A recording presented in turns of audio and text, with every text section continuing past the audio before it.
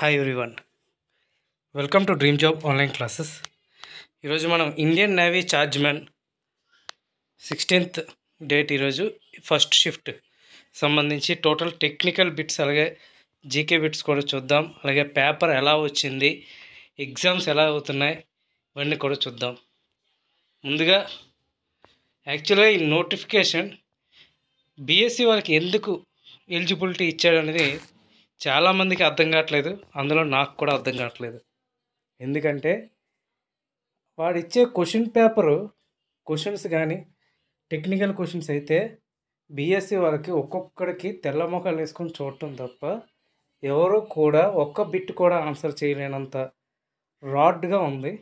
కరెక్ట్గా మాట్లాడాలంటే ఇంకా డిప్లొమాకి మంచి ఎనర్జెటిక్గా రా రాయొచ్చు టెక్నికల్ బిట్స్.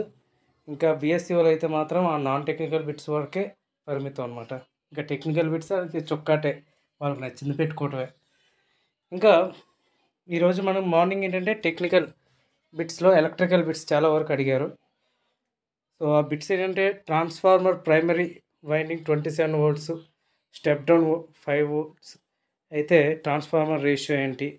పీక్ వాల్యూ అంటే ఏంటి? Find peak value fine peak to peak value ఏంటి and resistors connected values ఇంక్రీజా డిక్రీజెసా which motor for normal purpose which motor use for normal purpose and which material core for motor poles అలాగే in a motor three phase winding angle difference ఎంత next in RLC circuit phase angle ఎంత ఉంటుంది conductor of magnitude field changing applied voltage direction change what happen and అంటే అన్ని theoretical and ఎక్కువగా numerical క్వశ్చన్సే అడిగారు. Maximum ఎక్కువ డిప్లొమా చదివిన వాళ్ళకి మాత్రమే క్వశ్చన్స్ బాగుంటాయి.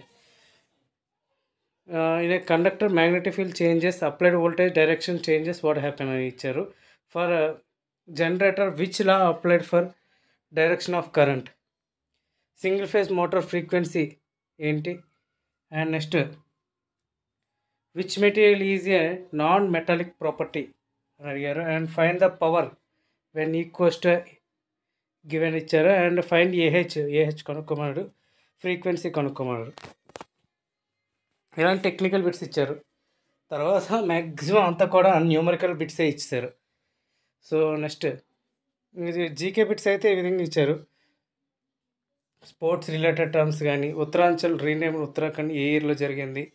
UTI split split in UTI one two ఏ ఇయర్లో కార్పస్ కొలిజం బాడీ సంబంధించింది. And uh, lengthiest lengthiest constitution amendment Aga Khan దేనికి సంబంధించింది. And uh, gambit word sport and festival సంబంధించి కూడా ఇచ్చారు బైసాకి. యాక్చువల్గా లేదంటే ఫెస్టివల్ నిన్న కూడా ఫాలో అయ్యారు ఈరోజు ఫాలో అయ్యారు. స్పోర్ట్స్ టైమ్స్ నిన్న ఫాలో అయ్యారు ఈరోజు ఫాలో అయ్యారు. అలాగే కాన్స్టిట్యూషన్ సంబంధించి కానీ లాంగెస్ట్ లార్జెస్ట్ ఇలాంటివి కూడా నిన్న ఇచ్చారు ఈరోజు ఇచ్చారు. సేమ్ ప్యాటర్న్ అయితే అదే ఫాలో అయ్యారు. జీకే బిట్స్ వచ్చేసరికి పార్లమెంట్ కన్సిస్ట్ ఆఫ్ వాట్ ఏం చేస్తుంది? ఇలాంటివన్నీ కూడా. అంటే జీకే ఏంటంటే ఒకే టాపిక్ క్వశ్చన్స్ అయితే ఎక్కువగా ఫాలో అయ్యారు. అది ఇప్పుడు ఎవ్రీ షిఫ్ట్లో కూడా ఇప్పుడు డ్యామ్స్ గురించి కానీ ఫెస్టివల్స్ గురించి కానీ డ్యాన్సెస్ గురించి కానీ లేదంటే ఇండియన్ నేవీ గురించి కానీ ఇవన్నీ కూడా సేమ్ ప్యాటర్న్ అయితే ఫాలో అయ్యారు. ఇంకా టెక్నికల్ అయితే మాత్రం డిప్లొమా వాళ్ళకి పేపర్ అయితే చాలా బాగా ఇచ్చారు. ఎవరైతే బాగా డిప్లొమా ప్రిపేర్ అయ్యి ఉండి బీటెక్ చేసుకుంటే వాళ్ళకి పేపర్ అయితే వాళ్ళకి బాగుంటుంది. ఏమీ ప్రిపేర్ అవ్వకుండా బీఎస్సీ వాళ్ళు ఏదో ఫిజిక్స్ కెమిస్ట్రీ ప్రిపేర్ అయ్యి వెళ్ళి ఉంటారు కదా వాళ్ళకైతే మాత్రం తెల్ల మొక్కలు వేసుకొని చూడటం తప్ప ఇంకా ఆన్సర్ చేయడానికి ఏమీ లేదు. జస్ట్ ఏదో ఫిఫ్టీ బిట్స్ నెగిటివ్ మార్కింగ్ లేదు కాబట్టి అన్ని పెట్టేసి రావడం తప్ప యూజ్ అయితే లేదు. అండ్ డిప్లొమా వాళ్ళకి మాత్రమే ఈ పేపరు. బీఎస్సీ వాళ్ళకి waste. Okay? Okay friends thank you thank you very much and all the best. And next చెప్పడం మర్చిపోయా ఇంకా అర్థమెటిక్ రీజనింగ్ అయితే అంత బాగానే ఇచ్చారు. సో ఇవే ప్రాబ్లమ్స్ అనమాట